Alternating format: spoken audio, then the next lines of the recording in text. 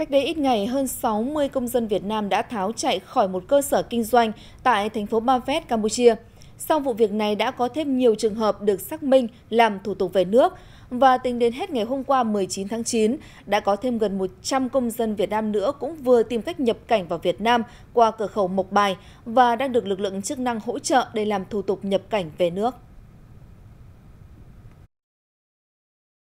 Theo đại diện Bộ Chỉ huy Biên phòng tỉnh Tây Ninh, trong vòng 2 đến 3 ngày trở lại đây, số công dân Việt Nam từ Campuchia xin nhập cảnh qua cửa khẩu Mộc Bài nhưng không có hộ chiếu tăng cao đột biến. Đều là những người trước đó đã xuất cảnh trái phép sang Campuchia với lời hứa hẹn việc nhẹ lương cao. Tuy nhiên, khi sang đến nơi thì lại phải làm việc quá sức và với mức lương rất thấp, thậm chí không được trả lương nên họ tìm cách bỏ trốn để tìm đường nhập cảnh về Việt Nam. Nhiều trường hợp đã phải trả tiền chuộc lên tới 50 đến 60 triệu đồng mới được chủ cho về trong đợt này. Tính đến ngày 19 tháng 9, đã có thêm gần 100 công dân Việt Nam nữa cũng vừa tìm cách nhập cảnh vào Việt Nam qua cửa khẩu Mộc Bài. Theo Bộ Chỉ huy Biên phòng tỉnh Tây Ninh, dự báo trong vài ngày tới, lượng công dân Việt Nam xin nhập cảnh về nước có thể sẽ tăng cao.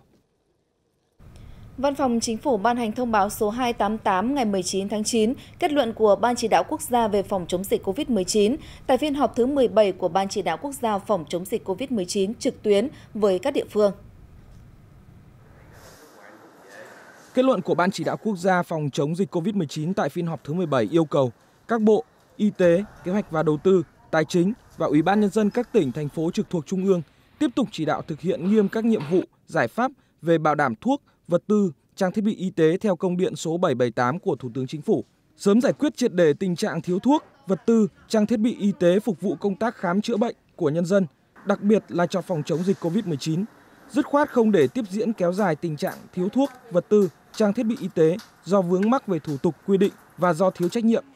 Tiếp tục bám sát tình hình dịch bệnh, thường xuyên ra soát, cập nhật, báo cáo về kịch bản phòng chống dịch theo nghị quyết số 38 của chính phủ, tăng cường kiểm tra đôn đốc công tác phòng chống dịch tại các địa phương, không để dịch bùng phát trở lại, không để dịch chồng dịch. Cơ quan địa phương nào để dịch bệnh bùng phát trở lại do nguyên nhân chủ quan phải chịu trách nhiệm trước Đảng, Nhà nước, trước nhân dân.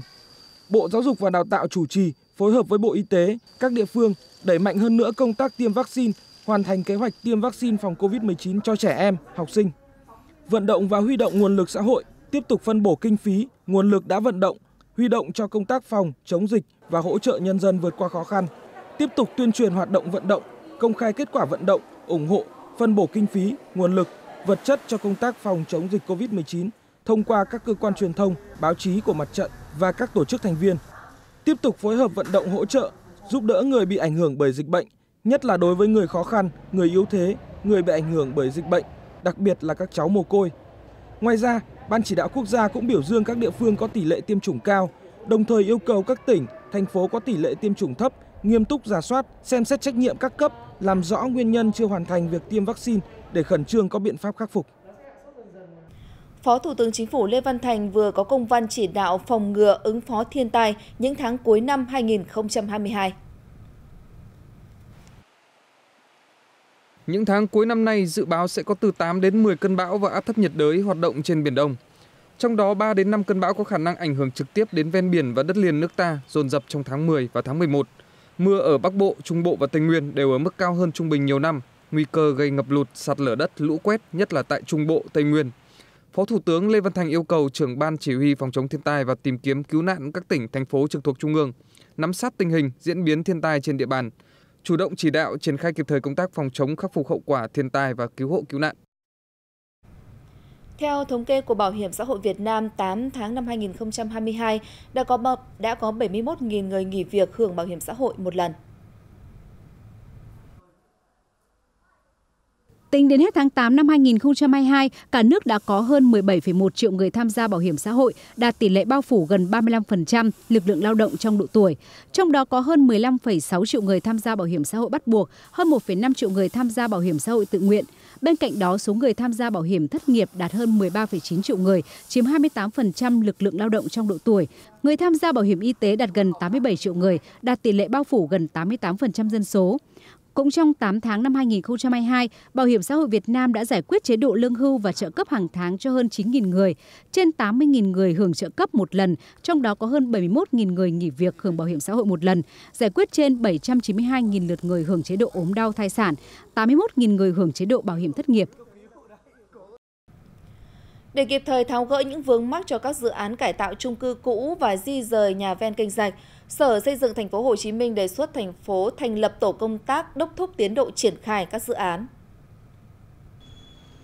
Tổ công tác được Sở Xây dựng thành phố Hồ Chí Minh đề xuất thành lập gồm giám đốc Sở Xây dựng và giám đốc Sở Quy hoạch Kiến trúc. Các thành viên gồm lãnh đạo các sở ngành quận huyện liên quan. Tổ công tác có trách nhiệm làm việc cụ thể với các quận huyện có nhiều chung cư cũ và nhà trên kênh rạch, nắm bắt kịp thời các khó khăn vướng mắt trong quá trình thực hiện các dự án, sau đó nghiên cứu tham mưu cho Ủy ban nhân dân thành phố các cơ chế, giải pháp để thao gỡ khó khăn, đưa các dự án thực hiện đúng tiến độ. Tính đến nay, thành phố Hồ Chí Minh mới di dời tổng cộng 2.479 trong số gần 20.000 nhà tạm ven và trên kênh rạch, đạt tỷ lệ 12,4%.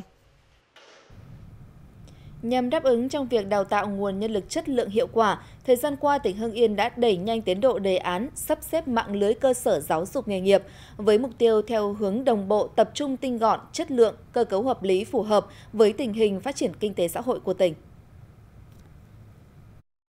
Sau khi được sắp nhập đi vào hoạt động trong mấy năm gần đây, Trung tâm Giáo dục nghề nghiệp giáo dục thường xuyên thị xã Mỹ Hào tỉnh Hưng Yên đã có bước phát triển mạnh hơn cả về quy mô lẫn chất lượng hoạt động.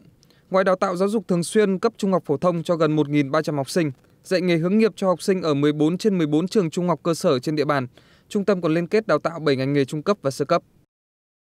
Trung tâm để nó lợi thế là khi các em tốt nghiệp ra trường thì nó có được hai cái bằng, một cái bằng văn hóa và một cái bằng nghề. Từ khi sắp nhập tâm đến nay, thực hiện kế hoạch của Ủy ban nhân dân tỉnh Hưng Yên về chiến lược và nâng cao chất lượng nguồn lao động, cho nên là trung tâm đã phối hợp với các trường trung cấp, cao đẳng để đào tạo nghề cho các em học sinh trang bị kiến thức cho các em học sinh để sau khi tốt nghiệp các em sớm bước vào cái thị trường lao động. Năm 2019, tỉnh Hưng Yên có 45 cơ sở giáo dục nghề nghiệp, thực hiện đề án ra soát sắp xếp lại mạng lưới cơ sở giáo dục nghề nghiệp giai đoạn 2020-2025, định hướng 2030. Đến nay toàn tỉnh đã ra soát sắp xếp sắp nhập tinh gọn chỉ còn 26 cơ sở giáo dục nghề nghiệp. Phấn đấu 75% vào năm 2025, 100% vào năm 2030, chuẩn đầu giao chương trình đào tạo được tích hợp lên môi trường số và có những cái nội dung chương trình đào tạo phù hợp với cả chuyển đổi số. Hiện các cơ sở giáo dục nghề nghiệp của tỉnh Hưng Yên đang đào tạo cho khoảng 50.000 người một năm. Mục tiêu giả soát, sắp xếp, sắp nhập các cơ sở giáo dục nghề nghiệp đến năm 2025 đạt 70.000 người một năm, đến năm 2030 đạt 75.000 người một năm, góp phần nâng cao chất lượng đào tạo nghề nghiệp phù hợp với tình hình phát triển kinh tế xã hội của địa phương.